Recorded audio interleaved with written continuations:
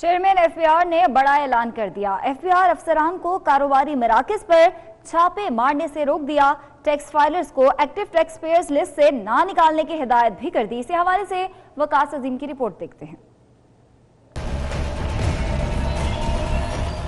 Chairman F B R Shabbar Zaidi اپنی تعیناتی کے بعد متحرک ہو گئے۔ تاجروں اور کاروباری افراد کا اعتماد بحال کرنے کی کوششیں کرنے لگے۔ چیئرمین نے افسران کے نام آرڈر میں کہا کہ کاروباری مراکز پر چھاپے نہ مارے جائیں۔ چھاپوں کی اجازت چیئرمین اور ممبر آپریشن سے لینا ہوگی۔ انہوں نے جو نیا ڈائریکٹو ایشو کیا ہے، جس میں انہوں نے کسی بھی قسم کی جو ہے، وہ ریٹ جو ہے، بزنس پریمیسز پر جو ٹیکس پے ہی ہے، میں سمجھتا ہوں کہ یہ درست سمت میں ایک بہت ہی مثبت قدم ہے اور اس کے اثرات بہت دور تک جائیں گے اور پاکستان کی بزنس کمیونٹی کا کانفیڈنس جو ہے وہ جو ہے بحال ہوگا۔ بجٹ کی آمد آمد ہے۔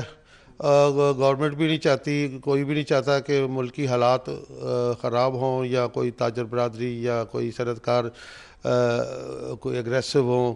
اس لیے انہوں نے اپنی پروٹیکشن کے لیے یہ کیا۔ ہاں، ہم ہے اس سے لیکن اس پہ عمل درآمد بھی ہونا چاہیے۔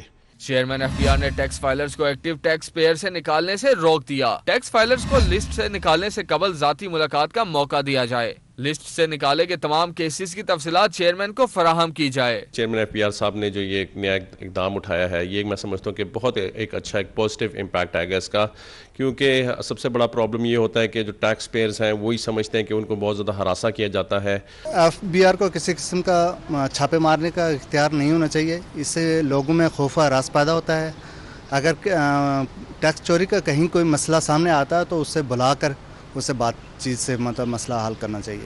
تاجر برادری کا کہنا ہے کہ چیئرمین ایف بی آر کے ان اقدامات سے سرمایہ کاروں میں خوف و حراس کی فضا ختم ہوگی۔ کیمرہ مین ارسلان بلوچ کے ساتھ وکاس عظیم 24 نیوز اسلام آباد۔